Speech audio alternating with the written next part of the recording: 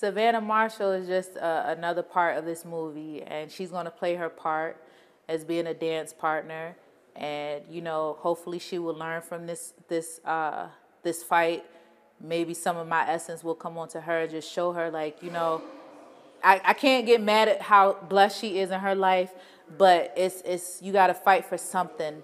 And maybe when she fights with, with me, and unfortunately she's going to be not victorious, she'll like grow a little bit and find her real passion because she doesn't want to box anymore. She don't. She she did what she did. She doesn't want to fight anymore. You gotta understand this is very serious against Savannah Marshall, and you know I get a lot of banter from people like why she get another opportunity it's not that you have to understand in my predicament i'm the undisputed champion but the longest reigning super middleweight undisputed champion she started her career at super super middleweight we never fought and i've been prolonging her.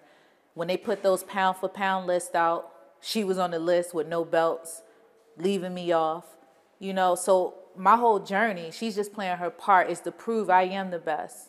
And I don't know what she thinks it is, but I know what I I know what it is, and I hope she she knows what it is, or she gonna f around and find out.